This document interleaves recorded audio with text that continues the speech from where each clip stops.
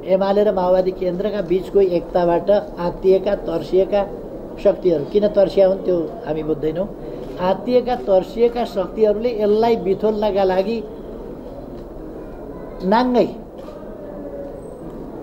अलोकतान्त्रिक अरूका मामलामा हस्तक्षेप गर्ने अरूका आन्तरिक मामलामा हस्तक्षेप गर्ने अरू पार्टीका भित्री मामलामा हस्तक्षेप गर्ने एकता देख्न नसक्ने देशलाई अस्थिरतामा धकेल्न फर्काउन खोज्ने स्थिरतातर्फ जान नदिने खुलेआम घोषणाका साथ केही प्रतिक्रियावादी भूमिकामा उद्धत भएको देखिन्छ। म भनिदिन चाहन्छु प्रेसका अगाडि सबैले सुन्ने गरी यी प्रयासहरू सफल हुने छैन। खुराफाती विद्यामै पिएचडी गरेका डाक्टरहरू लागेका छन्।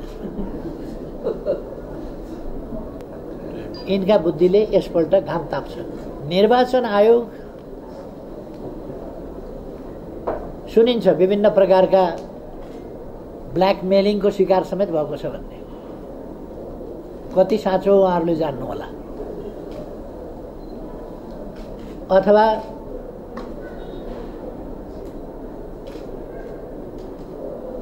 यदि उहाँहरूलाई अब कानुनी कुरामा नै यसमा अप्ठ्यारो लाग्यो भने गोविन्द केसीजीसँग सोध्नु भए पनि हुन्छ। गोविन्द केसीजीले त धेरैवटा कुरा फटाफट भनिराख्नु भएको छ अहिले। के के भनेको हो त्यो अदालतले पनि त्यसमा अब बुझ्ला त्यो जान्ला के के भने हो उहाँले। त्यही ढङ्गले अनेक प्रपञ्चका साथ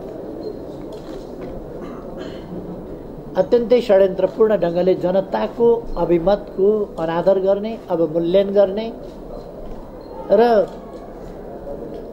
लज्जाजनक ढङ्गले सरकार गठनमा विभिन्न प्रकारका बाहनाहरू खोजेर राष्ट्रिय सभा र प्रतिनिधि सभामा दुवैतिर महिलाहरूको प्रतिनिधित्व तेत्तिस प्रतिशत न्यूनतम होस् भन्ने अभिप्रायका साथ संविधानमा जता जे उल्लेख गरिएको छ। त्यस कुरालाई प्रतिनिधि सभाको सरकार गठन सम्बन्धी स्वतन्त्र व्यव उसको क्षेत्राधिकार स्वतन्त्र काम जस्ता कुराहरूलाई व्यवधान पार्न खोज्ने।